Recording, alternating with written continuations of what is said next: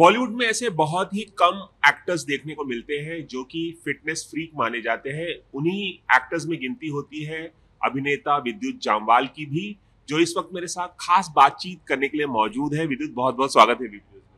शुक्रिया। बहुत ऐसे कम एक्टर्स हैं कि जो बहुत फिटनेस फ्रीक होते हैं। मैं आपसे जानना चाहूँगा कि बॉडी की फिटनेस को लेकर आप कब अवेयर हुए? कब आपको लगा कि बॉडी शॉडी बनानी चाहिए? किससे आपको प्रेरणा मिली? अगर मैं पूछूँ आपसे। नहीं, प्रेरणा तो बहुत लोगों से मिली है, क्योंकि मैं हिंदुस्तानी मार्शल आर्ट करता हूँ और बहुत सालों से कर रहा हूँ। सो कई लोगों ने इंस्पायर किया है और ये बॉडी बनाने का तो ऐसा हुआ नहीं था, जैसे बचपन में खेलते खेलते बाकी स्टूडेंट से बेटर फिजिक हो जाती है, लोगों की जो एथलीट्स होते हैं। सो जब आपको अच्छा लगने लग जाता है कि यू लुकिंग डिफरेंट आप हर आदमी से थोड़े अलग हैं सो आप उस पर और काम करने लग जाते हैं।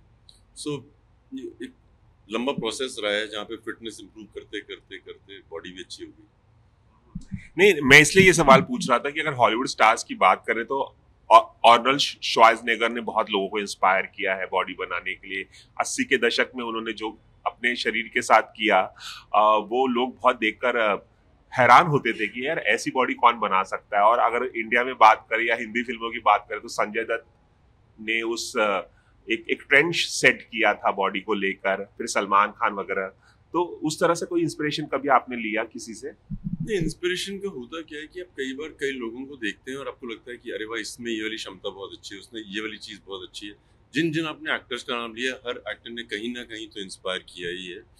और आज के ज़माने में तो जैसे यूट्यूब है और आजकल इंस्टाग्राम है, मैं इतने अद्भुत लोग हैं, उनको देखता हूँ, किस कर, किस तरह की चीज़ें कर पाते हैं, वो देख के भी मैं बहुत इंस्पायर होता हूँ।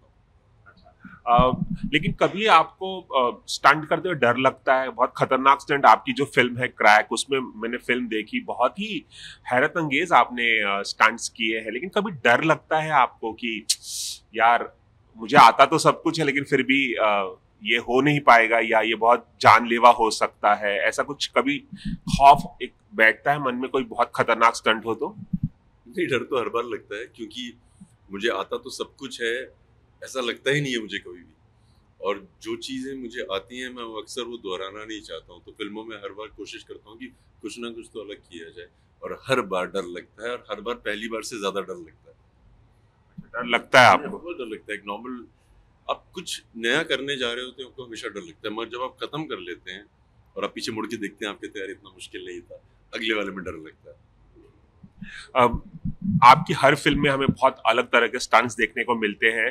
लेकिन मैं आपसे जानना चाहूँगा कि बतौर हीरो स्टंटमैन जब आपको तरह तरह के स्टंट्स करवाता है तो आपका इनपुट कितना होता है उसमें? आप कितना अपना इनपुट देते हैं कि हम इसे और बेहतर कर सकते हैं? नहीं, एक एक्टर का इनपुट तो बहुत इम्पोर्टेंट होता है और जब आप एक्शन कर रहे होते हैं और काफ़ी टाइम से कर रहे होते हैं और यही आपका पैशन होता है तो जिन लोगों के साथ आप काम करते हैं, उनमें भी उतना ही पैशन होता है। तो जब आप मिल के बनाते हैं और एज फ्रेंड्स बनाते हैं कि ये कर सकते हैं अरे नहीं इससे भी बेहतर कर सकते हैं काम करते हैं यहाँ नहीं यहाँ से जम मार देते हैं ये ज़्यादा मुश्किल दिखेगा। सो वो करने का एक जो प्रोसेस है ना वो एक दोस्तों के बीच में हो जाता है और जब आप एक्शन डायरेक्टर्स के साथ काम करते हैं स्टंटमैन के साथ काम करते हैं वो अधिकतर आपके दोस्त ही बन जाते हैं। क्या आपको याद है कि शूटिंग करते वक्त अब तक कितनी बार आपकी हड्डियाँ टूटी है? नहीं मेरी ऐसा नहीं है कि बहुत बार टूटी है, मगर हर फ़िल्म में कहीं ना कहीं तो इंजरी होती है। ऐसा हुआ नहीं है कि किसी भी फ़िल्म में एक बड़ी इंजरी नहीं हुई है। और मुझे लगता है वो आपकी फ़िल्म का एक गिफ्ट होता है आपको। सो हर फ़िल्म में कहीं ना कहीं तो इंजरी होती है बट अगर आप एक्शन करना चाहते हैं और ये आपका प्रोफेशन है तो ये होगा ही होगा। तो इसके बारे में इतनी बड़ी बात करने की ज़रूरत नहीं है। आप पानी में जाएँगे तो गीले होंगे ही होंगे। वैसे अगर आप एक्शन स्टार हैं या एक्शन को रिप्रेजेंट करते हैं तो इंजरी होगी होगी। और अगर नहीं हुई तो फिर आप अपने आप को पुश नहीं कर रहे कभी घर वाले आपको रोकते हैं कि यार इतने खतरनाक स्टंट मत किया करो? आ, मतलब उन्हें सबसे ज़्यादा चिंता होती है आ, अपने अपने बेटे की आ, या जो भी है घर में उन्हें बहुत चिंता होती है। कि कभी रो, रोकते हैं आपको कि यार ये क्या कर रहे हो? नहीं रोकते तो नहीं है। अब तो उनको पता है कि ये मुझे पसंद है और ये मैं करूँगा तो सोच समझ के ही करूँगा। तो उनको पता है कि मैंने डाल डाली जाती है इसके पीछे और हर चीज़ पूरे दिल से की जाती है। क्या आप दर्शकों को बताना चाहेंगे कि बॉडी बनाने का मतलब सिर्फ़ जिम जाना नहीं होता है? बहुत सारी आ, हमें प्रिकॉशंस लेने पड़ते हैं बहुत सारी चीज़ें करनी पड़ती हैं। आप क्या क्या करते हैं खुद को मेंटेन करने के लिए जिम जाने के अलावा? जिम जाना भी बहुत अच्छा है लोगों को जिम जाना चाहिए एक डिसिप्लिन होना चाहिए। और मैं क्या करता हूँ मैं कोई ना कोई डिसिप्लिन चूज़ कर लेता हूँ। अगर मुझे भागने का मन हो रहा था तो मैं एक डिसिप्लिन कर लेता हूँ कि अब मैं इस हफ़्ते से भागूँगा। वेट ट्रेनिंग का मन होता है वेट ट्रेनिंग करूँगा योगा का मन होता है योगा का करूँगा। बट इस बीच में मैं अपने शरीर की हर कोशिका को इस्तेमाल करने की कोशिश करता हूँ। अपने शरीर के हर अंग को हिलाता हूँ। मतलब मैं अपने शरीर को हर तरीके से ट्राई करता हूँ जो उसने पहले नहीं किया। खाना पाना खा, खान पान भी उसका एक बहुत इंपॉर्टेंट हिस्सा है। डिपेंड करता है कि अगर आपको खाने का शौक है तो मुझे लगता है आपको खाना चाहिए। जैसे आपने ज़िक्र किया अभी आर्नोल्ड श्वासनेगर सर्विस्टर स्टेलोन ये जो बॉडीज़ हैं ये अलग बॉडीज़ हैं इनको परहेज़ करना पड़ता है। बट जिस तरह की लेवल पे हम बॉडी बनाते हैं जैसे मैं एक्टर्स की बात कर रहा हूँ उसमें इतनी रिस्ट्रिक्शन की ज़रूरत नहीं है कि पानी बंद कर दो ये बंद कर दो। मुझे लगता है आप सही खाना खाते रहेंगे आपका दिमाग भी सही रहेगा। खुशी तो रहती है अच्छे खाने से। हमने थोड़ी देर पहले यहाँ पर देखा कि आप यहाँ पर उल्टे लटके हुए थे और कुछ बच्चे आपके सामने कुछ छोटे मोटे स्टंट्स कर रहे थे। एक अलग तरह से आप प्रमोट करना चाह रहे हैं फ़िल्म क्रैक को, जो कि तीस जून को आने वाली है स्टार गोल्ड पर। क्या कुछ कहना चाहेंगे? एक अलग एक आइडिया लेकर आप आए हैं कुछ अलग तरह से प्रमोट करते हैं फ़िल्म को? नहीं, मुझे उन्होंने बोला कि एक जिम में बहुत अलग अलग लोग आए हैं जो आपको दिखाना चाहते हैं कि वो क्या क्या करते हैं और वो क्रैक हैं। सो मैंने कहा, अगर उनको देखना है तो मुझे भी एक अलग नज़रिया रखना चाहिए। तो इसलिए मैं उल्टा लटक के मनोरंजन भी लिया और उनको मनोरंजन भी उनको दिया। क्रैक फ़िल्म मैंने देखी, उसमें जो आपने हैरत अंगेज स्टंट्स किए उसके लिए क्या कॉम्प्लीमेंट्स आपको मिले? क्योंकि अब तक जितने 10-15 सालों में आपने जो कुछ किया है, उससे काफ़ी एक नॉच अबाउ था वो, ऐसा कह सकते हैं। किस तरह के कॉम्प्लीमेंट मिले आपको इस फ़िल्म के लिए और अपने एक्शंस के लिए? नहीं तारीफ़ तो बहुत हुई है और जिस तरह से हमने वो ट्रेन का सीक्वेंस किया, मैं जब बॉम्बे आया था तो हम ट्रेन में ही घूमते थे और हमेशा लगता था कि ये एक ज़रिया है जो आपको पूरी मुंबई घुमा देता है पूरे हिंदुस्तान को टच कराता है। कुछ ना कुछ तो कभी ना कभी करूँगा। सो so, जो मेरा ओपनिंग सीक्वेंस है जो फ़िल्म का वो ट्रेन के ऊपर हमने किया है।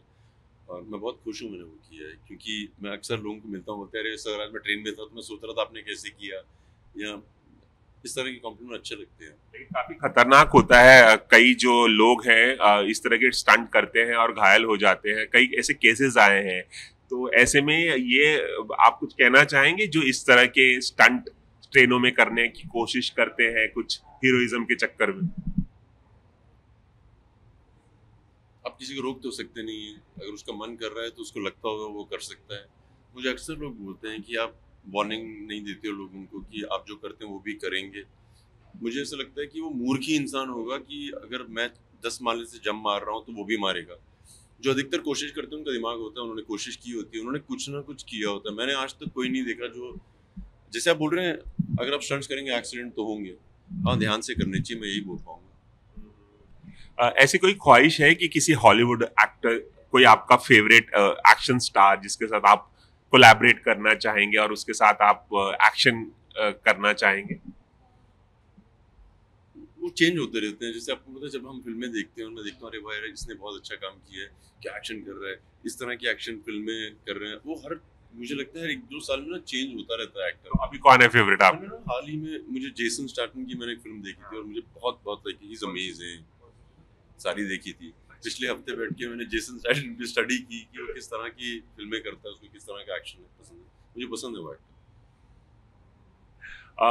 अब क्रैक जो है सिनेमा घरों में तो आ गई अब टीवी पर आएगी और टीवी एक ऐसा माध्यम है जिसके जिससे लाखों करोड़ों लोग जुड़े हुए होते हैं, रोज़ाना देखते हैं। कितने खुश हैं आप कि अब ये अवेलेबल होने जा रही है स्टार गोल्ड पर और क्या कुछ कहना चाहेंगे? तीस जून को, इस रविवार को स्टार गोल्ड पर फ़िल्म आ रही है और मैं बहुत खुश हूँ क्योंकि जब मैं फ़िल्मों का अपने काम ढूंढ रहा था, उस टाइम पे एक यही होता था, हम टीवी पे बैठ के कुछ ना कुछ फ़िल्में देखते रहते थे। आज बोला दिन आ गया जहाँ पे मेरी तरह कोई ना कोई घर पे बैठ के देख रहा होगा और इंस्पायर होगा। सो मेरे लिए बहुत सौभाग्य की बात है। चलिए से खास बातचीत करने के लिए बहुत बहुत शुक्रिया। और टीवी पे ज़्यादा से ज़्यादा दर्शक ये फ़िल्म देखे हम यही उम्मीद करते हैं। Thank you cameraman Prakash Patil के साथ रवि जैन एबीपी न्यूज़ मुंबई।